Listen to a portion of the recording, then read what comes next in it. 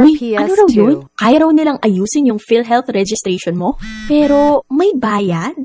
Nako, huwag kang maniwala dyan. Fixer yan. Hindi ka sigurado dyan. Huwag magpapaloko sa Fixer. Huwag basta ipagkatiwala ang personal mong impormasyon. Makipag-transact sa pinakamalapit na PhilHealth office para sa registration, updating, at pagbabayad ng inyong contributions. Bumisita sa www.philhealth.gov.ph para hindi mabiktima ng scammer.